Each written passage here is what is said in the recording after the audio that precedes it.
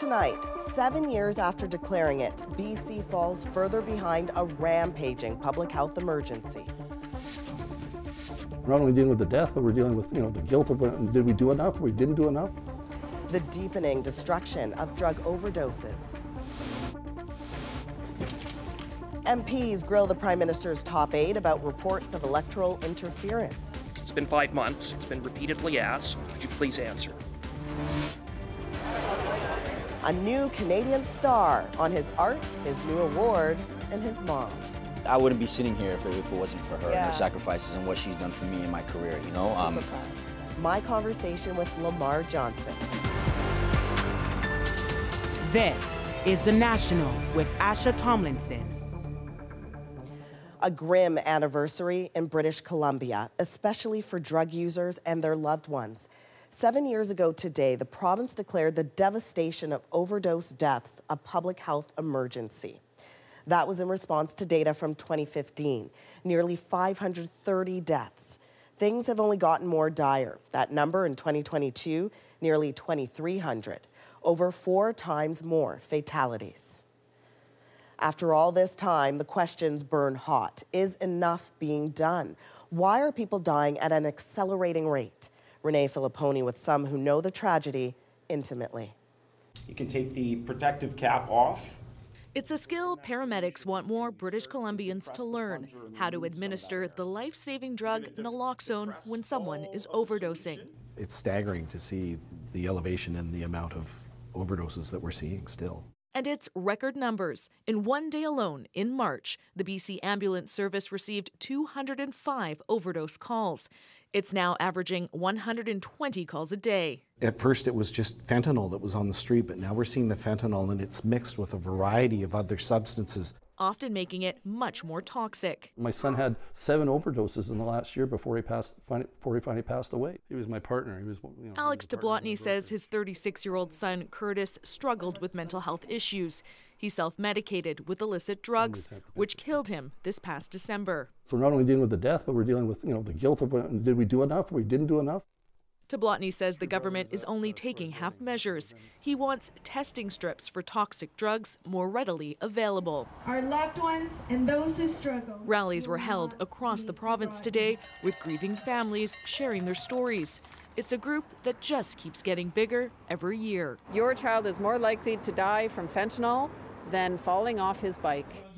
Many here calling for more access to safe drugs now, including Jennifer Howard, whose son died of an overdose. It's evident as we see people continue to die that we are lacking the services they need, and that's why we need a safe, regulated supply. That sentiment echoed by drug users on Vancouver's downtown east side, where the community marks another year of this public health crisis. disheartening and it's hard because I walk down the street on a daily basis and I see people hunched over and you know you can't tell if they're alive or dead. So, Renee, how is the province responding to this? Well, Asha, BC acknowledges that this serious problem is only getting worse. The government's budget included a billion dollars for mental health and addiction, much of which will go to scaling up detox and recovery services. And to help destigmatize drug use, it's also decriminalized the possession of small amounts. But advocates really stress that safe supply issue. Right now, it's available to about 4,000 people. The coroner and provincial health officer want it expanded, but that will need sign off from Ottawa. Asha? Renee Filippone, thank you. You're welcome. The Prime Minister's chief of staff was grilled by MPs today about what Justin Trudeau knew when, when it comes to China's attempts to interfere in Canada's elections. It was a meeting the opposition has pushed for. Raffy Boudjikanian with what came out of it. Opposition MPs had been waiting for this for months, a chance to question the Prime Minister's Chief of Staff about foreign election interference. But to question after question, mostly cold water. I can't, unfortunately, speak to specifics. Being able to figure out what you can and can't say publicly is not something that I should be sitting here doing. I can't get into what the Prime Minister has or has not been briefed on in terms of uh, specifics of intelligence. Um, It's uh, it's frustrating, I know, uh, for me as well. Katie Telford's appearance comes after multiple Global News and Globe and Mail reports citing unnamed intelligence sources saying Beijing's diplomats in Canada meddled in the last two federal elections, allegedly trying to sink conservative candidates and favor a minority liberal government. When did the Prime Minister become aware of Beijing's election interference in the 2019 election? Just the date, please. It's been five months. It's been repeatedly asked. This has been an ongoing conversation over many months and years. Telford was clearer on this point. Of course, the Prime Minister reads any documents he does receive. More details came in the hours before the hearing started. The committee got a list it had been asking for, revealing national security officials have formally briefed the Prime Minister at least six times since October 2018 about foreign interference, and his office twice. But no details on what specifically was discussed. The opposition says public trust is eroding. They want a public inquiry to be called. The Liberals have appointed a special rapporteur to make that decision. It's not clear what body is best to look at it given the sensitive nature of the information. And Raffy, we know the deadline for that decision is next month. In the meantime, though, the Pierre Elliott Trudeau Foundation is making headlines again tonight, right? Yeah, Asha, this is about the $140,000 donation the charity accepted from two businessmen linked to the Chinese government. That money's finally been returned, but now the Conservatives are asking for the Canada Revenue Agency to audit the foundation with a particular focus on that donation. Meanwhile, the foundation itself has written a letter saying it welcomes an investigation by Canada's Auditor General and they're looking into this on their own as well. All right. Thanks, Raffy. Tonight, the U.S. national security community faces stark questions after a 21 year old man accused of leaking highly sensitive secrets appeared in court. Chris Reyes has what the case reveals about the accused and the U.S. government's own policies around classified data. It's a beautiful day. It's gorgeous. The family of Jack Teixeira avoiding all questions as they walked into a Boston courtroom where a judge told the 21 year old suspect he could face up to 15 years in jail, charged with leaking dozens of documents, including sensitive military information related to the war in Ukraine. Faced with that gravity, Teixeira and his father exchanged I love yous. From other corners, more anger and concern than words of support. If in fact sources have, and methods have been compromised, that could translate into dead Ukrainians that didn't need to be dead because we didn't get the process uh, and, and the protection of that information. It points to a problem that's endemic in our national security uh, structure in Washington, D.C. It's too easy to get access to this stuff. According to court documents, Teixeira has had top secret security clearance since 2021 and access to other highly classified programs all because of his job working in cyber defense operations. The more people you have involved in maintaining the systems, uh, you know, the more you're spreading around the information. But uh, hopefully this will be a wake-up call. The U.S. Department of Defense now assessing the damage of the leaks and how it hands out security access. Teixeira allegedly shared the documents online to a chat group of mostly young men and teens talking about guns and video games. While the FBI has not released a motive, one security analyst has a theory. This individual seems to have wanted to uh, basically have a bit of a leadership role and seems to have been using uh, this classified information as a way of perhaps establishing authority and, you know, perhaps even stoking his own ego. In court, Teixeira said very little. He didn't enter a plea and softly said yes when asked if he understood the charges. He remains in custody until his court appearance next week. Chris Reyes, CBC News, New York. A U.S. lower court ruling that could take an abortion pill out of the hands of millions of women has been put on hold. The U.S. Supreme Court is allowing federal rules for mifepristone to stand for now. The drug is used in about half of the abortions in the U.S., but this week an appellate court put additional rules on access. The Supreme Court could make a decision on the Justice Department's appeal as early as next week. Here at home, Canada's spring housing market is open for business, but the latest numbers show homes are selling for less compared to the same time last year. In March, the average price of Canadian homes from standalones to apartments was down 13.7% compared to March of 2022, fetching an average of $686,000. Anis Heydari gives us the big picture on the new data. Selection is more limited lately when looking at homes. There's fewer listings than your average sort of spring busy real estate market um, uh, in, in a regular market would, would bring. We've just had to broaden sort of the neighborhoods that we're interested in looking at.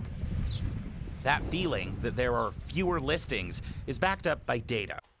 The latest national real estate numbers showing 20 year lows in the amount of new listings. People don't want to put their houses on the market necessarily when the market is low, so inventory levels are really low, and they continue to be low. Supply is low. Sellers stay home when prices drop. The average price of a Canadian home sold in March, more than $686,000. That number is higher than the month before, but a big tumble from last year.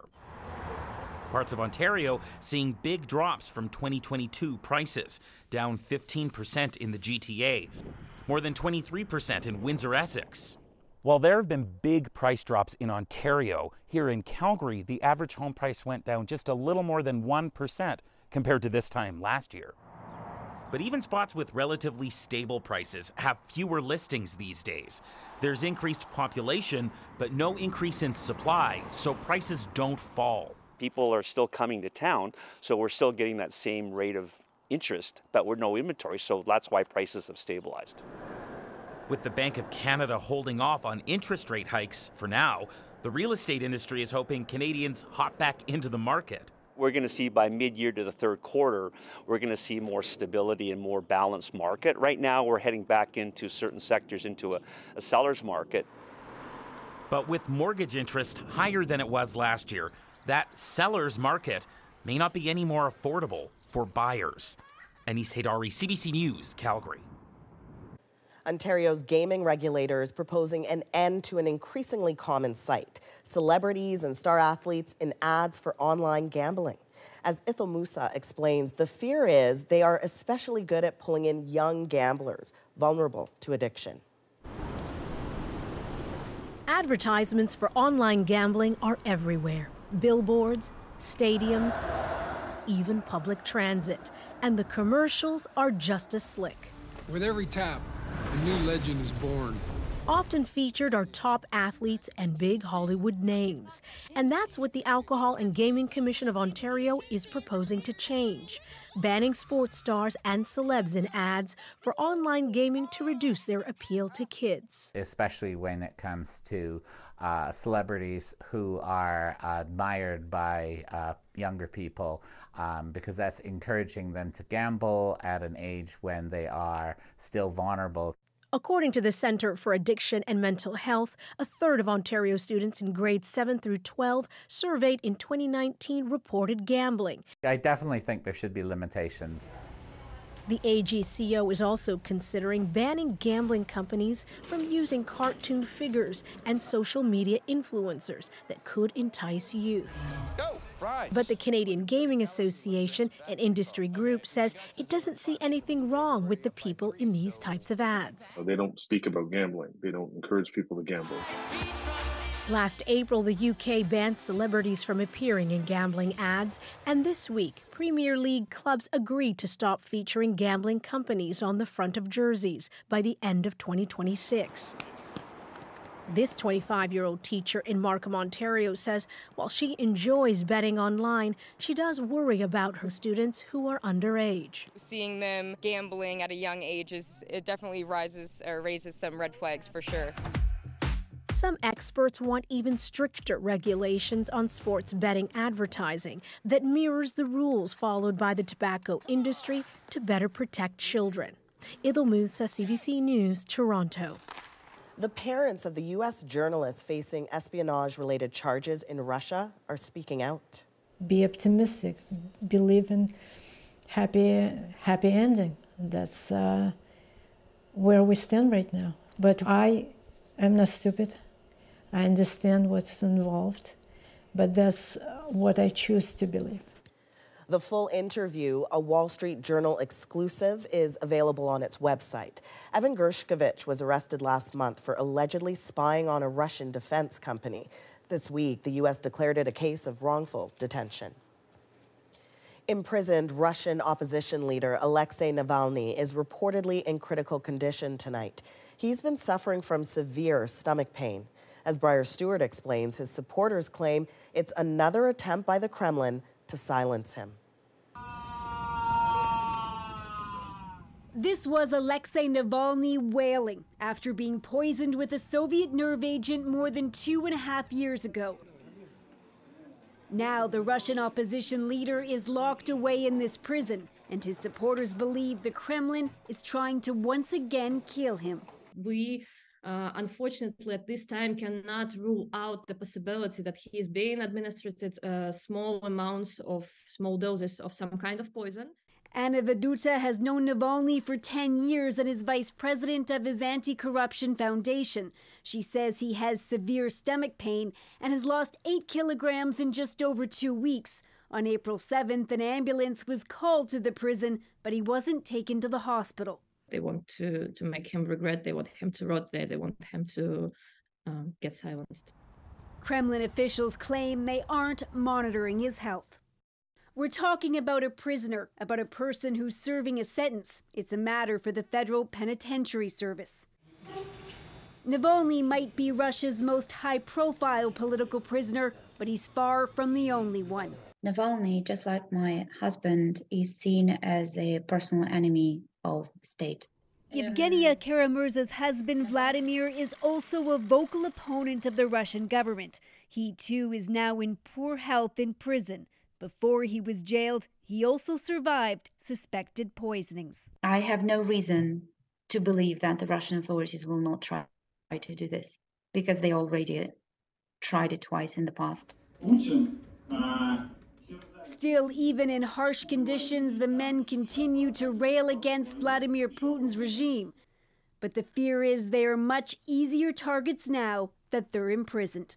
Briar Stewart, CBC News, London. Turning to France now, after weeks of protests over unpopular pension reforms, a constitutional body says President Emmanuel Macron can go ahead with his plan. Susan Ormiston explains.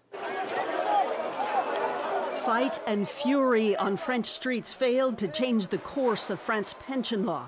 The Constitutional Council, in a final test, cleared the way to raise the retirement age to 64 from 62.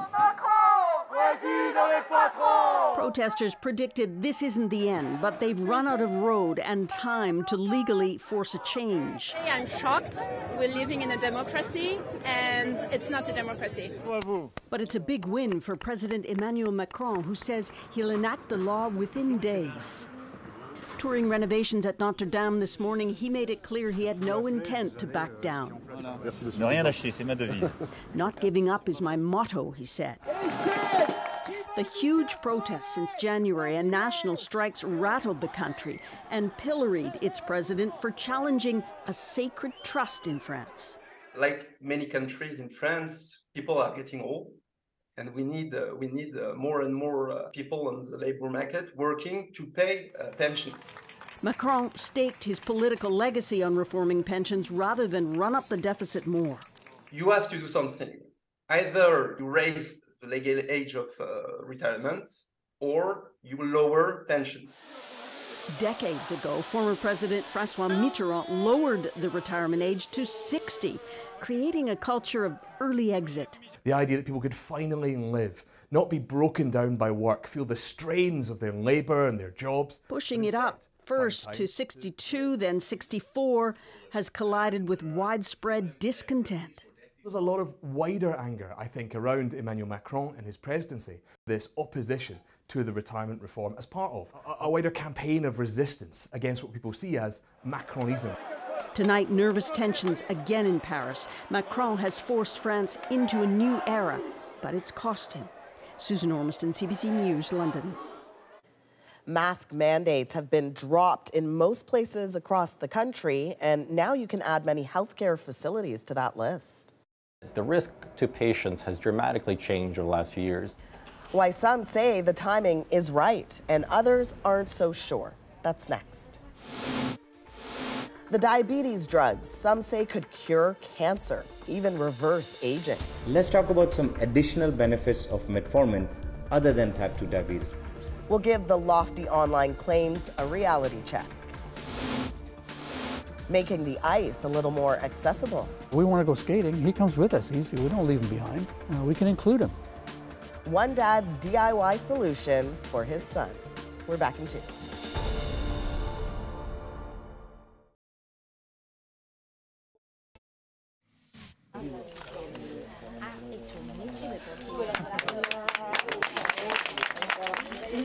¿Cómo estás? That is Spanish mountaineer Beatriz Flamini returning to the light today after 500 days of darkness, a possible new world record for longest time spent in a cave. Flamini documented her time exercising, reading, and making art. Allumage Vulcain. Allumage AP décollage. The European Space Agency has launched a spacecraft heading for Jupiter.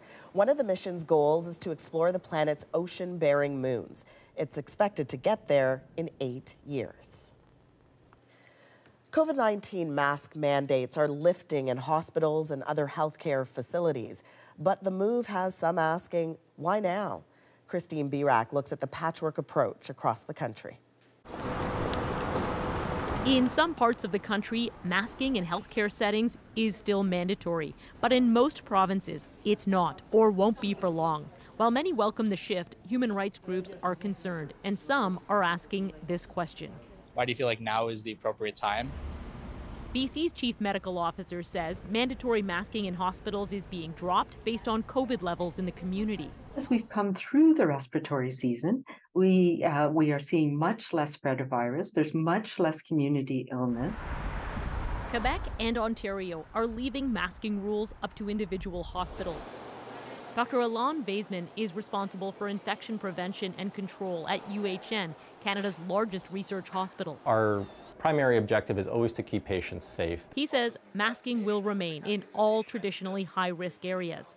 Patients entering emergency rooms may still need to mask up, but fewer people may be wearing them in hospital lobbies, hallways, and elevators. The risk to patients has dramatically changed over the last few years because of vaccination, because of previous infection, because of therapeutics. Patients are not as high risk of acquiring COVID and having bad outcomes with it as they were in the past. Data show since January, the number of COVID 19 deaths in Canada has been steadily decreasing. The virus killed 113 Canadians during the last week of March. Just need to grab a mask there, sir, and good to go. PEI plans to drop mandatory masking next week, but health officials say they've helped. If we have a, a large outbreak of influenza or RSV or COVID in the future as we get into the winter seasons, I think it would be quite reasonable to bring back uh, masking in hospitals in certain areas. And experts insist no one is saying Canadians shouldn't wear a mask when going into a hospital or other healthcare setting. They're only saying it's not mandatory. Christine Birak, CBC News, Toronto.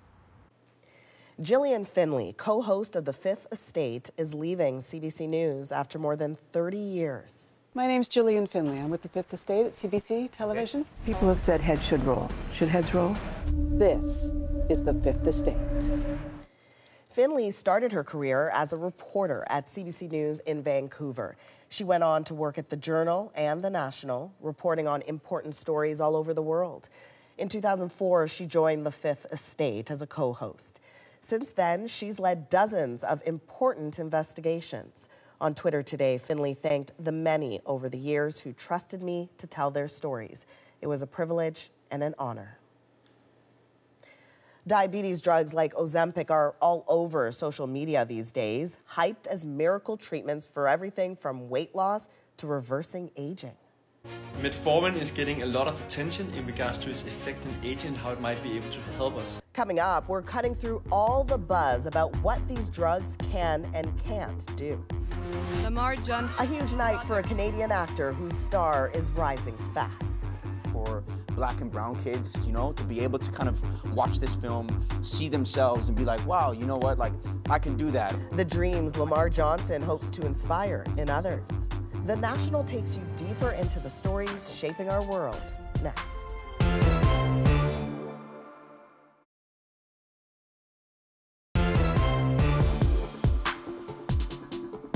Let's talk about some additional benefits of metformin other than type 2 diabetes mellitus. I wish I could say it was from diet and exercise. Um, it's not. It is from a shot called semaglutide. You've probably heard of it. Metformin is getting a lot of attention in regards to its effect on aging and how it might be able to help us. So if you take metformin, let me know how it's going below. It's hard to miss on social media a sense of excitement about drugs normally used to treat diabetes. Ozempic and metformin are being lauded as treatments for obesity, and some are suggesting metformin could prevent cancer or even extend your life. So, what's the truth? Joining us now are Dr. Sean Wharton, who specializes in bariatric medicine and diabetes treatment, and Tim Caulfield, a professor at the University of Alberta who specializes in legal and ethical issues in medicine. Good to see the both of you. Dr. Wharton, we'll start with you. To be transparent, we should say you were once a spokesperson for the company that makes Ozempic. What are these drugs supposed to be used for, and, and what is it about them that makes them useful for other purposes? And so these drugs are type 2 diabetes drugs, but they, they, that means they work in the peripheral part of the body. So they go to the pancreas and to the gut and they work there. But they also work in the brain. And the brain is what controls our eating behaviors. So if somebody is excessively eating or has excessive hunger or is trying to get the weight down, but they're not using their fat stores for their energy needs and they want to eat more, this dampens it and quiets it down so that you can actually um, use your fat stores for your energy and not eat extra food so you can lose weight. Okay, got it. Uh, uh, Tim, there's a lot of hype, right, about these drugs and their off label use.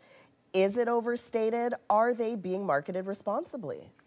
Wow, th there is an incredible amount uh, of hype about these drugs. And, you know, and I think it's fair to say that there's growing concern about how they're being used.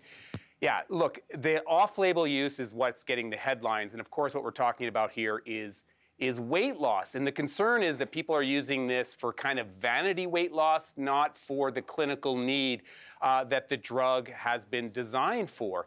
Um, and there is a lot of hype, not just uh, from coming from the manufacturers, but of course from the social media influencers too. And the message there, again, is often weight loss for kind of the wrong reasons. And, and as, as our medical expert will tell you, there are concerns with this drug. I have been hearing about those side effects and the long term effects. Uh, Dr. Wharton, though, do you think there are ethical concerns with how the drugs are being marketed? Well, I'm not sure that there are concerns with the way that the pharmaceutical company is actually marketing it. It's more so a lot about the social media. So I did a lot of the research for the way that these medications work. Obesity is a real disease. If you're living with obesity, you've been looking for an answer to your your your disease, and this is it. These medications are actually here. They actually work. It's a big deal. It's a breakthrough.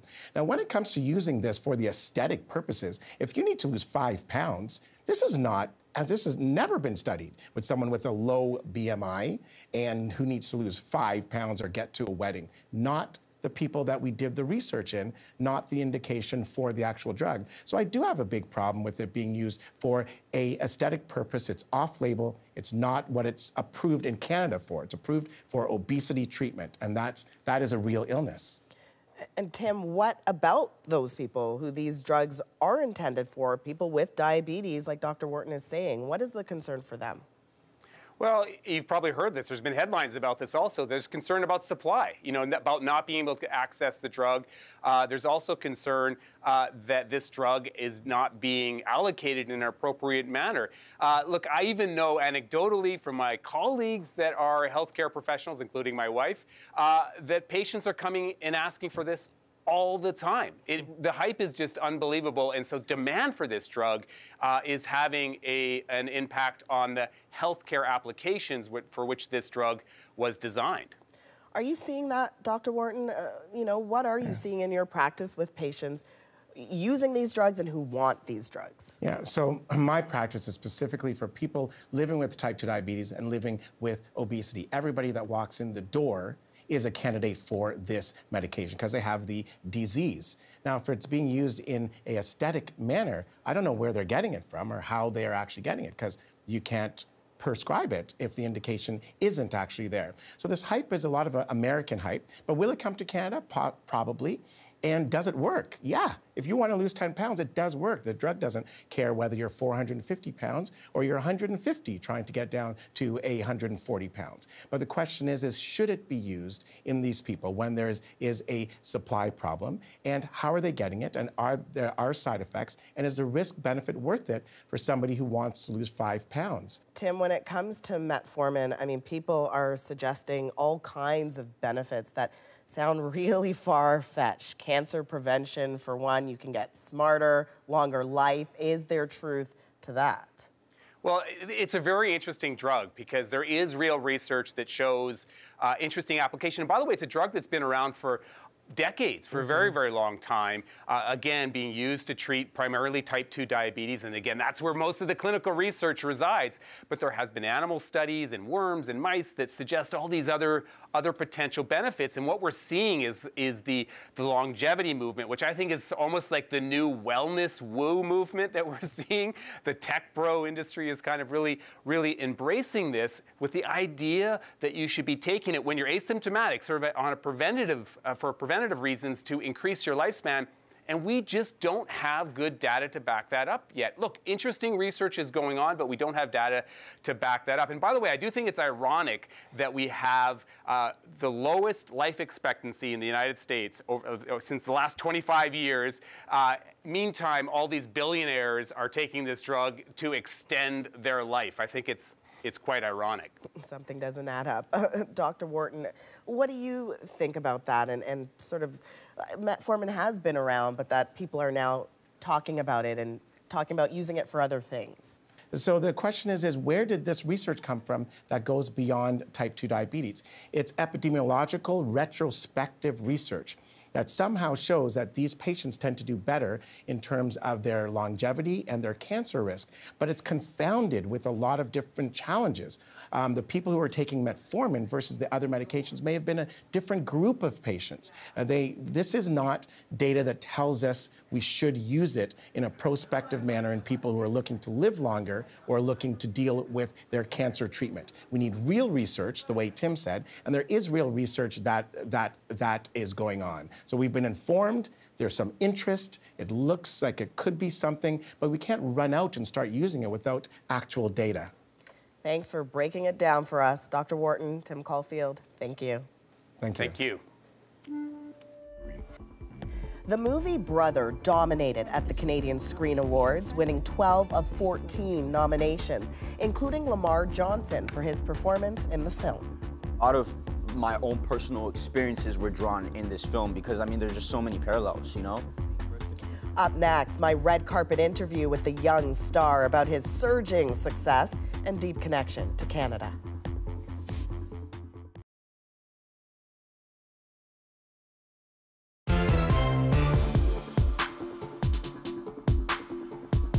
It's been a huge week with more to come Sunday as the Canadian Screen Awards continue long and important showcase for art films and directors. Some now say the CSAs need to take a wider view and recognize that fans want stars. Here's Eli Glasner. It's just been like a surreal dream come true. After a long hibernation, the Canadian Screen Awards are back in person with much to celebrate. You there? Why, me, sir? Buzzy films such as I Like Movies, Brother, and Infinity Pool are making waves. But take a look at the actors in competition. Big names in Canada's industry. But how many do you know? I would say in Canada, we're very big on the auteur, the director, writer, screenwriter. Canadian soap star Tanya Williams went from acting to founding a film festival. She says Canada is missing a critical part. You want your movie to be watched by as many people as possible, and those people are going to be drawn to actors that they've heard of. That is just the name of the game. Seeing that responsibility now falls to the new CEO of the Academy of Canadian Cinema and Television. It's my first year leading this organization into this wonderful week. I'm still smiling and uh, it's all great. The CSAs are like Canada's Oscars and Emmys, all rolled into one. One of the week's biggest winners is the film Brother. I don't want you running the street with no hooligans. You hear me, Francis? For me, I would want to see all my colleagues who have worked tremendously hard, who have dedicated themselves, be be recognized nationally, live. But this year, the live broadcast gala has been replaced by a pre-packaged show on Sunday, hosted by Samantha Bee. On tape. The Canadian Screen Award goes to Lamar Johnson, Brother. CSA winner Lamar Johnson has seen his star rise thanks to the American show The Last of Us. Raised in Scarborough by his mom, an immigrant from Jamaica, Brother gave him a role that reflected his own story. To be able to see yourself on screen is a big thing. You know, uh, I remember when I was younger, I watched the commercial and I saw a little black kid that looked like me in that commercial, not necessarily knowing the seed that is subconsciously placed inside of me. The message from filmmakers if we want to see our stories, we need help. If you love going to the movie theaters and please you got it you got to go and you got to support that's just that's really the only way that we can keep this thing going as the work to help Canadian stars shine a little brighter continues Eli Glasner, CBC News, Toronto. You saw Lamar Johnson in Eli's story just now. Well, I caught up with him on the red carpet last night just after his big win. We talked about success, Canada, and what comes next. Hold it up, please. Yes. How's it feel? Wow. It's uh, it's very heavy. That's how it feels. But no, I mean truly, it's it's amazing. Yeah. I mean, um, this is my first award. This is my this first, is your first lead. award. This is my first award, my first lead. Um, you know, uh, this is this is beautiful. You know, I've worked very hard to to get to this place yes. um, with myself and with my craft. Yes. So, um, you know, yeah, I cherish this. Wow. I cherish this heavily. And when you're up on stage, mm -hmm. What was that like? Take me through the moment. Um, I mean, I was a little nervous, you know, if I'm being honest, you know, because I, I, mean, what I would, what I used to say, what I, what I was saying today is, mm -hmm. I'm an actor, right?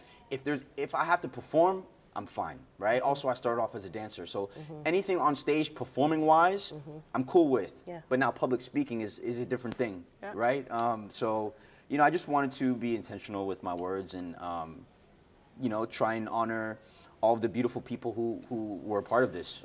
Um, Speaking Yeah. of all those beautiful people, I mean, 12 of the 14 award nominations here at the Canadian Screen Awards Yeah. went to Brother. Yeah. It's a Canadian Screen Award record. Yeah, wow. What do you Wow. make of that? I mean, it's amazing. You know, I think specifically the fact that it is a Scarborough story, and I am from Scarborough. So am I.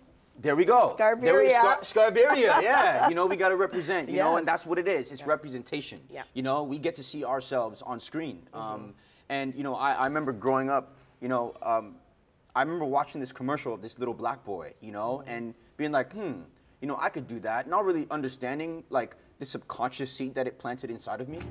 Michael. I'm Aisha. I know your brother, Francis.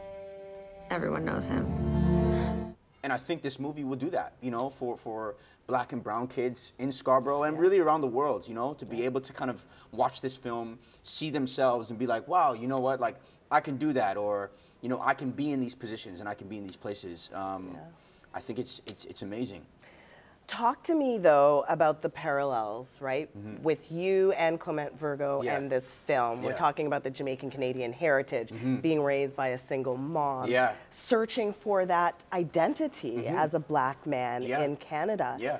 Did you talk through that with Clement and did you draw from those experiences in this role? Yeah, a lot of my own personal experiences were drawn in this film because I mean there's just so many parallels, you know, being first generation Canadian, um, uh, being from Scarborough, you know, being raised by a single mother, you know, like all these experiences I, I pulled from, you know, and kind of gave um, gave those things to Michael, right? Obviously the circumstances are very different and, and his reality is different than mine or was different than mine, but you know, um, I was still able to tell an authentic story through him, through myself. I truly saw myself in this character, and I saw my younger self in a way. Um, and I, I, I just super grateful to, to have been chosen and, and been a part of this. Another theme for this movie is black masculinity. Yeah. And I mean, there are common stereotypes out Mhm. there about how black men should act. Yeah. unemotional, tough. Mhm, mhm, mhm. But this movie, I mean, it challenges Yeah, that. And so, what was that like, sort of, you know, showing that vulnerability? And are you seeing that more in film and TV now? Yeah, I'm definitely seeing it a lot more now, you know, um, and people kind of challenging that masculinity kind of, yeah, this kind of stereotype, you know, where it has you have to be strong and you know you gotta like not care, and have no emotions and these things. It's like, Yeah. but that's not human, Yeah. right? Human beings. I mean, there's there's masculine and, fem- and feminine in both men and women, Yep. right? And it's just about, you know. Um, you know, understanding yourself, being tapped into yourself, being in tune, and um, you know, taking advantage of those moments. You know, I think it's very strong to be tapped into your emotions and to be able to connect with those and be emotionally mature. You know, as opposed to you kind of suppress your emotions and just act off of like brute force. You know, that it's not healthy. There's that through line of, of yeah, like masculinity and, and what it's what does it look like to um, to identify, you know, as a black man in this world, in this circumstance, you know? I just want to talk about this hit HBO show. I think it's called The Last of Us. yeah, You yeah. play Henry. Yeah. What is it like to be a part of something so massive? Uh, that was, I mean, that was crazy. I mean, I was a fan of the game prior to me getting on the show, so the Right. fact that I was a part of it, I was like, wow, like this is amazing. And also the challenges that it came with. You know, I had to learn sign language uh, because Keivonn, who plays Sam in the, in the series, is deaf from real life. So it was full immersion. You think they'll be okay? It's easier when you're a kid anyway. it was beautiful and i love to challenge myself because on the other side of a challenge is growth so you know i was able to grow through that experience and, and to work with pedro and bella and just to be a part of such a massive ip and you know it's it's it's just been doing so well. I mean, you know, when it was on television, it was still airing. Uh, it was like the number one show on television. You know, it was, it was massive. Um, so to be a part of something like that, um, I'm just, uh, you know, I'm grateful. I know you're a busy man, but you did give a shout out to your mother. Yes. I want to thank my mother, who's sitting in the front row. Without her sacrifice, I really wouldn't be standing here. So I really want to thank her dearly. And she is so important in your life. Yes. She is here She's right, right now. here. I want to She's bring right her here. in. She is looking gorgeous. Hello. What's your name? Sigale Johnson. And you know, I I'm now a mother of two boys, and that relationship. I mean, We're really close, as you can see. I He's a love mama's it. boy. I love it. What is it like seeing him on stage Oh my tonight gosh, and knowing am- what you've gone gone through to raise him? I am him? super, super proud. Like, from all the struggles that I actually went through, and you know, just to make sure that I saw talent from he was like three years old, Mm. and I made sure that I grew that. Made sure I took him on set. I made sure I did everything for him just to make sure that he did well, and Giving he him succeeded. opportunities. Yeah. Mhm. So I'm super proud. I would I wouldn't be I wouldn't be sitting here if it, if it wasn't for her and her sacrifices and what she's done for me in my career. You know, um, proud. I'm just, yeah, I can't I can't I couldn't I, I don't think I could ever repay her or thank her enough. You know, but um, It was worth it. Yeah. You know. Well, when you think about what he's Yeah. holding right now, We're all grown and everyone's doing well, so I'm happy. you What a special moment. Yeah. Well, congrats to Thank you. you so much. Congrats to you. Thank I you. can't wait to see what else is in store for you. Mhm. Scarborough to the world. yes, Scarborough to the world, absolutely. Thank you so much. Thank you. Thank you. That's what parents who have disabled children live for, is that squeal of glee. Coming up, an invention born out of a father's love for his son in our moment.